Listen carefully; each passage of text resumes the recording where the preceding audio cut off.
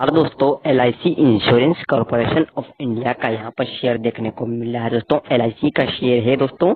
और दोस्तों, छह सौ रूपए पर यहाँ पर स्टॉक की प्राइस देखने को मिल रही है दोस्तों। तो यहाँ पर स्टॉक का अच्छा खासा मोमेंटम बना सकता है दोस्तों। अच्छे खासा इंश्योरेंस कंपनी है LIC जो की बीमा कंपनी है दोस्तों। और यह कंपनी के जो इक्विटीज है कैपिटल है, और भी बहुत सारी कंपनियों में लगी हुई है। यानी कि इस कंपनी का पैसा दूसरी कंपनियों में भी लगा हुआ है। खुद कंपनी खुद के ऊपर भी डिपेंड नहीं रहती है, क्योंकि कभी भी कुछ भी हो सकता है। तो इस तरफ़ से इसके लिए बैकअप में बहुत सारा कैपिटल भी होना ज़रूरी है बीमा कंपनियों के लिए।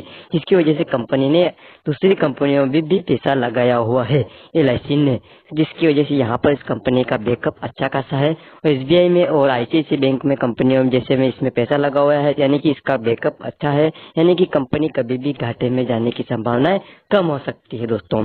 यानी कि बात करें सप्ताह की, शेयर की तो यहाँ पर स्टॉक का सपोर्ट एंड रेजिस्टेंट बनता हुआ अच्छा खासा देखने को मिल रहा है दोस्तों। यहाँ पर स्टॉक प्रेसिस्टेंट बनता हुआ देखने को मिल रहा है। यहाँ पर स्टॉक की जो रेंज है बॉक्स लेवल में देखने को मिल रही है दोस्तों तो अप साइड मोमेंटम स्टॉक बना सकता है दोस्तों। यहाँ पर महीने के रिटर्न देखें तो यहाँ पर उन्नीस रुपए की गिरावट यहाँ पर स्टॉक में अभी बनी हुई है।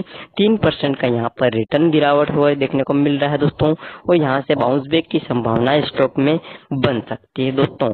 तो दोस्तों, अगर आप यहाँ पर निवेश करना चाहते हैं तो आप अपनी ज़िम्मेदारी से बाज़ार में निवेश कर सकते हैं। और दोस्तों, बात करें वन ईयर की सबसे यहाँ पर चार्ट की जो एनालिसिस है वह गिरावट की तरफ़ संभावना देखने को मिल रही है।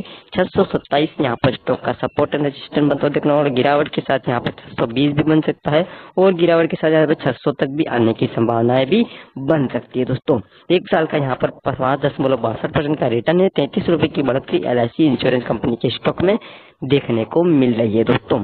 बात करें दोस्तों फाइव ईयर की चार्ट में तो यहाँ पर अच्छी गिरावट बहुत ही ज़्यादा देखने को मिल रही है।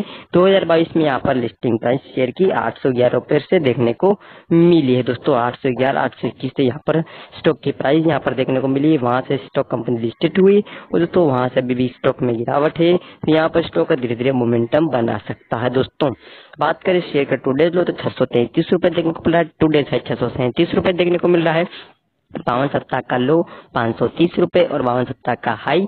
यहाँ पर सात सौ चौपन रुपए देखने को मिल रहा है। धीरे धीरे स्टॉक बावन वीक हाई तक तरफ़ जाने की संभावना यहाँ पर स्टॉक बना सकता है और यहाँ पर हाई को ब्रेक कर सकता है। यानी कि लॉन्ग टर्म के लिए इस शेयर को अच्छा खासा माना जा सकता है।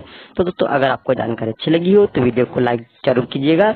और दोस्तों चैनल पर सब्सक्राइब नहीं कर रखा हो तो सब्सक्राइब कर लीजिएगा, बेल आइकन ऑन कर लीजिएगा।